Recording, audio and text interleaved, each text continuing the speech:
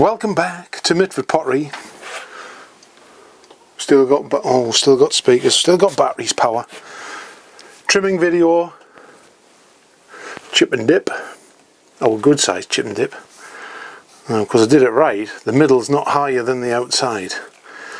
So when we put this on here, it doesn't wobble all over the place.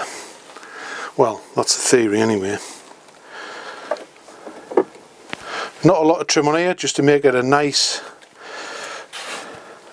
nice and smooth.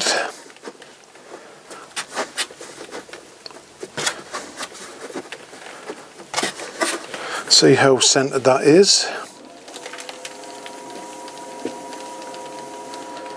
It's alright. What shall we use?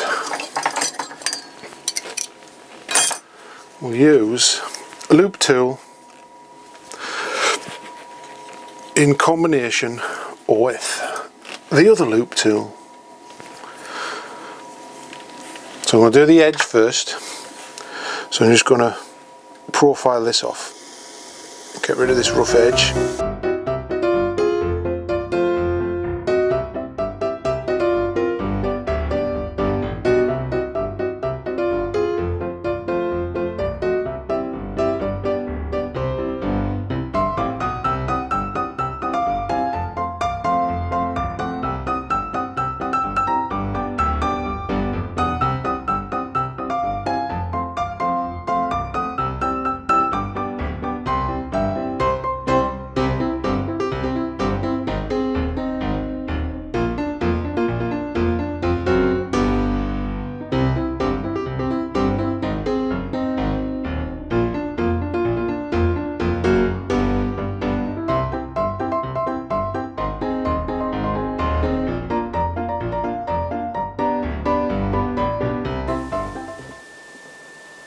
So I've started a little bit of a foot there. I'm just going to take that